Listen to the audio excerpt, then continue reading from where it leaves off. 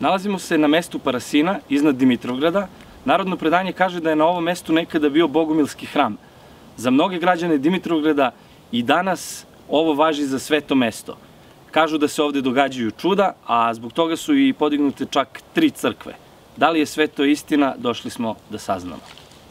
Ovo mesto postoji od 1720. godine. Kao tako da se zna Kao da je, da da je se sveto zna da je imalo nekakve svetinje, kakve bile da bile, od 1720. godine postoji. Ti bogomili su ih povezivali sa Boga, sa narod, sa, sa ostali, jer oni su, tu je ima njihova kovačnica je bila ovde sada gde je onaj obredni krst. Ima tu legenda koja, koja postoji. A to sveto mesto je meni rečeno kad sam ja dobio amanet i kad sam, štom sam pošao tamo koračeći, meni je rečeno da je ovo sveto mesto. Za isceljivanje ljudi, bolesnih ljudi. 65. godine tom mom burazeru se javlja na san da on mora da dođe tu, da mu pokažu gde treba da postavi Sveta Trojicu. A tu je, znači, prethodno bila neka crkva koja je bila temelji ili... Samo su mu temelji pokazani. Da. Išla je žena pred njega, pred mog burazara i kaže tu ti je temelj, tu, tu, tu, tu, tu je ovikoli, tu ti je oltar, tu ti je sve to. Samo kad drvo izvadiš, ti uzimaš ikonu i posle ostalo sve će si dođe na svoje mesto. To mu se desilo u snu ili mu se desilo kao... Pa dovodili su ga ovde. Stric ga zaključa. Ključem. I ključ stavi pod jastuk. Ujutro on dolazi, kuca na vrata, stric se diza, kaže, ko je? Kaže, ja sam tata otvori. A on je trebalo da je A unutra. on je trebao da unutra legnu uveče svi, svi legnu, prozori zatvoreni, vrata zatvoreni, zatvorena, a on izveden. Aj sad ti, budi pametan, kako on to izašao? Znači njega su izveli, izneli, ni nema nikakav trag, ni slomljeno, ni ništa, ni otvoreno da je ostalo. Sve se to zatvori i se načini.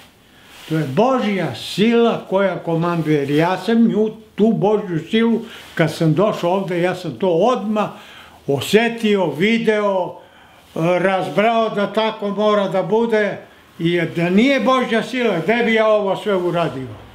E Sad pričali smo, o, vidimo ovde Bosilja Krisi, pričamo o drvetu koje, je- koje je bilo ovde pre nego što su nastale ove, e, ove građevine. Postoji neka priča da su ovde, da je ovde bilo bogumilsko svetilište pre nego što... Pa, znate, kad, kad su došli neki ljudi i kad su videli ovo kamenje kad je pravljen ulaz i ovo neobično kamenje koje nisu ovi koji su radili, to nisu umeli da, da otkopaju, da vide celinu, nego je to tehnika, moćne mašine i to je ono. I onda kad posle su došli neki ljudi vide to kamenje, imaju tu moć da izmere neku energiju, da vide, ja kaže, tu je bilo još za vreme Bogomila neko svetilište. Znači to mesto je e, sveto mesto još od vreme Bogomila. Ovaj kamen, on je preko 300 kila, To je deo nekog groba možda. Ne, da ću da vam kažem. On je stajao, na njemu su se palile sveće, vidi da su mu ljudi iskopali rupu, tu je bio, stavlja se pesak i tu se pale sveće kad je on bio dole Na Sveto Trojicu. na Sveta Trojicu.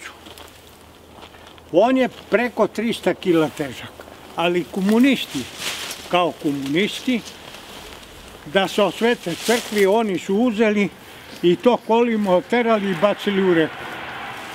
I njemu dojde na tog mog burazara da taj kamen nađe u reku, kazano mu gdje, i da ga donese ovde da ga postavi pored krsta. On uzme konopac, znaš šta je konopac? Juže. Da, da. E, preko leđa, ide, nađe kamen, sila Božja ga izbaci napolje Sam donese kamen do... i on veže kamen na leđa i donese ga ovde. Vojo odakle ideš? Pa kaže nosio sam onaj kamen što su ga komunisti bacili u reku. Pa gde si prošao? Pa kaže preko reku. Pa kako? Pa ti si suv. Pa suv sam.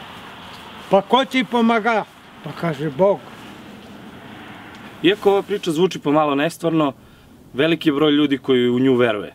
Najbolje je da dođete u Dimitrovgrad i sami je proverite.